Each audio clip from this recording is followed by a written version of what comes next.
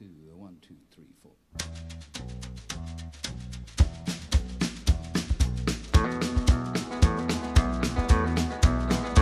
On the road again. Just can't wait to get on the road again. Hello, everybody, and welcome back to the channel. Uh, John Fix and I were very fortunate. We found another tool we don't see much of. We looked around, very rarely see this item, so we grabbed it and thought we'd do a restoration on it. A Ridgid, it's either called a half hatchet, a hammer, hatchet combo, hammer axe. I don't know for sure what to call it, so I'll fumble through with the name, but I do know it's a Ridgid tool. So let's get down to the shop and get a look at it and get it restored.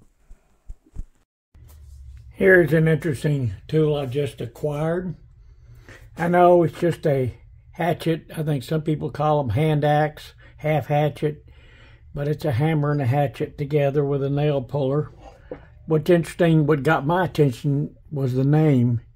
If you can read that on here, it was made by, it's a Ridgid brand made by Ridge Tool Company, model 556.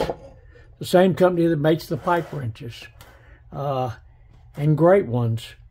Uh, Ridge Tool Company was started 100 years ago in 1923. They still make all their pipe wrenches uh, in Elyria, Ohio, in the USA. Uh, still do today. One of the few companies that makes their tools here. And uh, and and and you know that pipe wrench, it's just an icon. It's it's a a standard in the industry. It's been copied many, many, many times, but it's uh, an excellent, excellent product. And the first time I've seen one of these, uh, uh, I, like I said, it's one of their tools, and that's what attracted me. Uh, I'm going to clean it up and get it looking uh, really sharp because I think it'll be a nice addition to the line. An interesting fact, the I bought this on eBay, and the uh, person I bought it from shipped my shipment, but when I opened my shipment, inside was a jewelry box. I was a little disappointed, not something I was really looking for.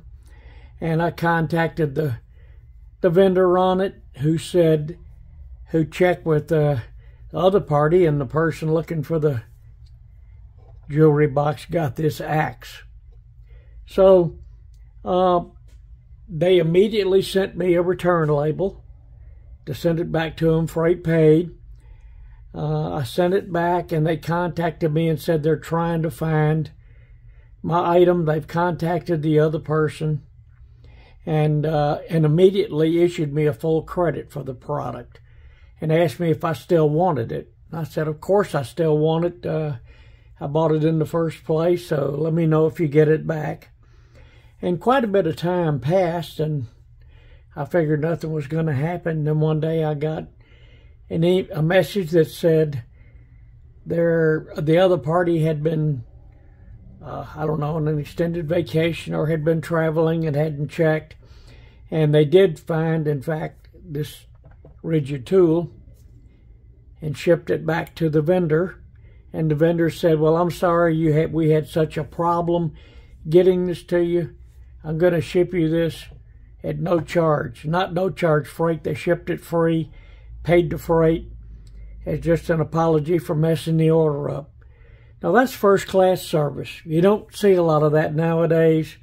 I think that's something that's missing in our society. And uh, I'm just delighted. I gave my, you know, five five plus star rating, and uh, really a real, real sent a real nice note thanking them for the wonderful customer service. On closer inspection with this tool, you can see it's had a lot of wear and tear, a lot of use, a lot of pitting on here.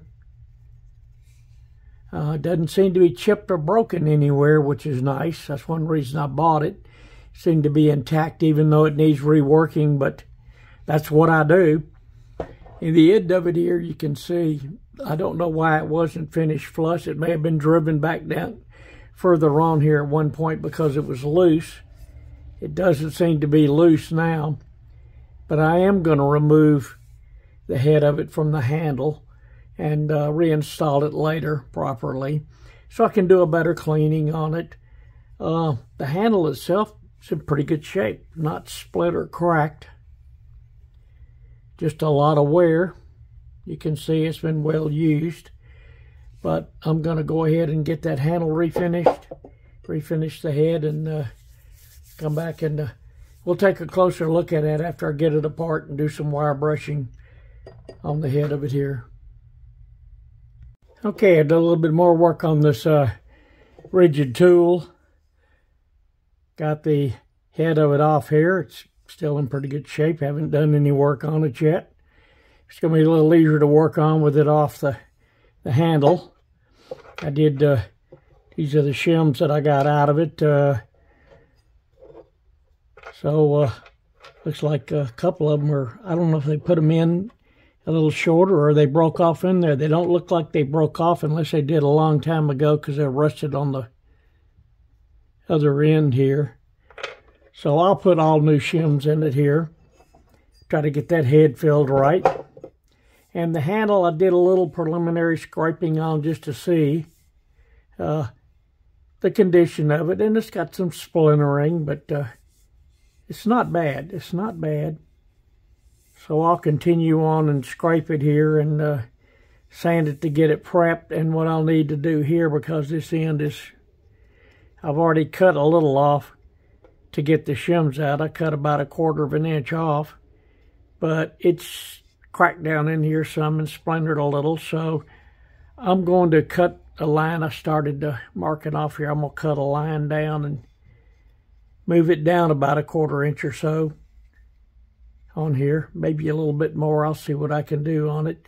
And uh, move the head down on here a little bit to get some good solid wood in the end here to so this hammer will finish out real nice. Hammer. Hatchet hammer. We'll, uh, and we'll of course do some heavy wire brushing here to start with. And here we are after some wire brushing. Uh, really cleaned up pretty nice. Uh, you know, it's an interesting thing about wire brushing. It uh, wire wheeling, wire brushing. It cleans it up a lot. It gets rid of a lot of the defects and problems, but it also exposes others. So while you can see around the hammer portion of it here, these all these facets were actually cleaned up pretty nice, which is sometimes very hard to get to to get cleaned up. And of course, the hammer head here is mushroomed pretty badly, the head of it. And uh, just general staining, pitting, corrosion. You can see the name a, a lot better now, Ridgid. Number 556 USA on there very clearly. So we want to get that looking nice. We'll uh, do some sanding on it next. Okay, here's an update. Uh, got the handle sand, scraped and sanded, prepped, ready to for a final finish before we put it together. Usually my hammers, I, I do them uh, while it's together. It's nice to have it apart. Uh, when I was doing the prep on here, there's another reason nice to be apart because I was able to get all this area around the top and the bottom here that I normally couldn't get to very well when it, you know, when it's assembled. Also, uh, I sanded it completely and then uh, gave it a brushed finish using my coarse surface conditioning belt. Uh, I like what I see here. Uh, the Ridgid name, again, it's prominent now. It really shows up.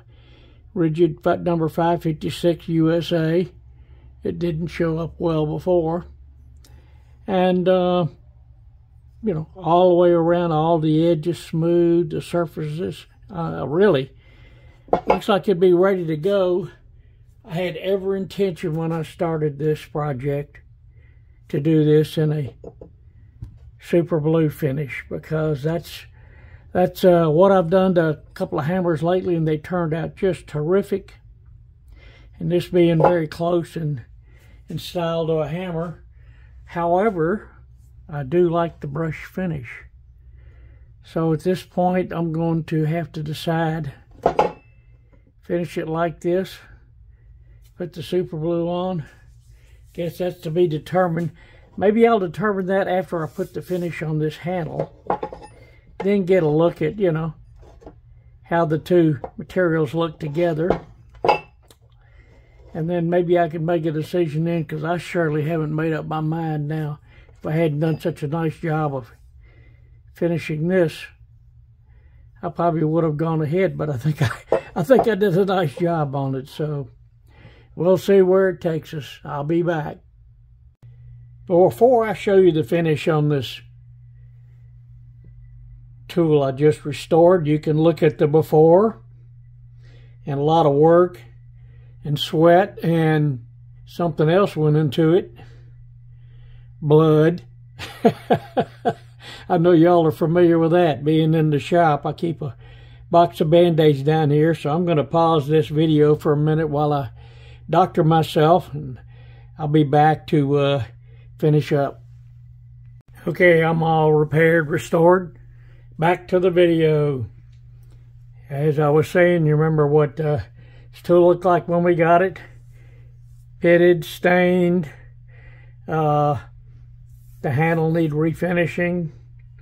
And of course, was there really any doubt about what I was going to do? Those of you who've been watching my videos, you know I'm hooked on on gun blue. Love the finish. I've done that on a couple of hammers recently, and that's what I originally intended to do with this tool. I got off track doing that brush finish, but in the end, I got back to my basics. And here's the finished tool.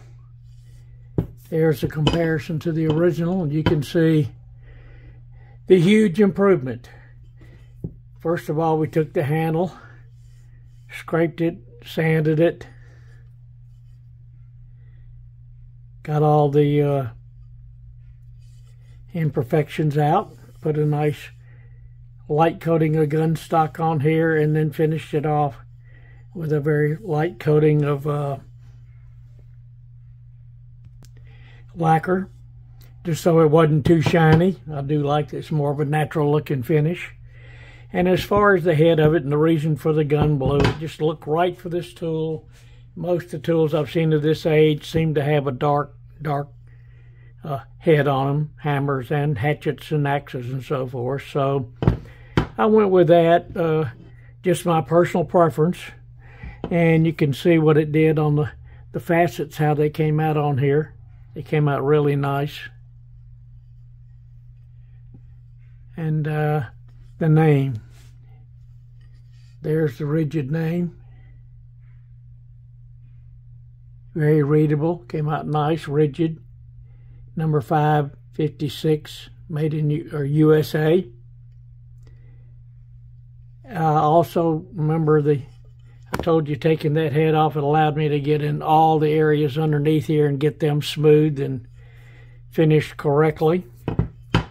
Uh, really, to me, it, this is just how the hammer should look, or how the uh, axe hatchet should look. It's got a nice feel. It's a good, nice size. Uh, again, I have not seen another Ridgid tool like this. I'm sure there's others out there, but I looked through, couldn't find any history on it. Couldn't find any examples of it anywhere on the internet. So it doesn't seem to be a, a very common item. So uh, pleased to have it. Uh, it'll be a nice addition to my collection, and it'll display well with the others that I've got done that I've done in a similar finish.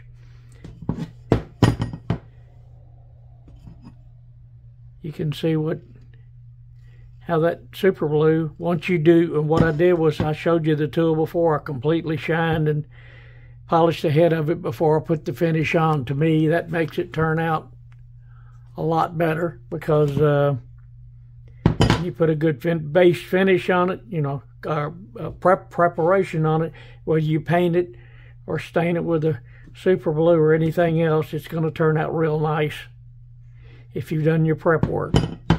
So there's the Ridgid axe, hatchet, hammer, don't know exactly what you call it. I guess it's a hatchet with the hammer head.